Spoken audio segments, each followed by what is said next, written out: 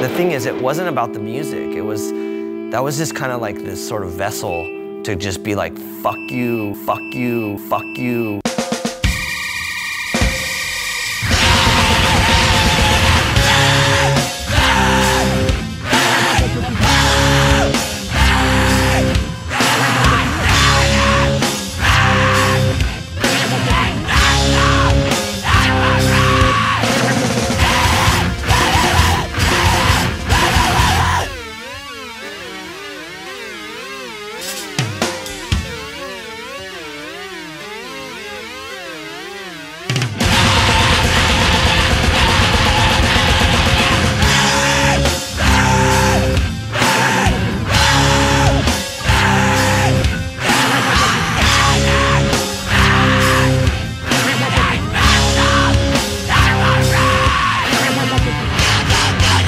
Uh, this is what I think. I think Justin Pearson is an artist and he can't fucking do anything else.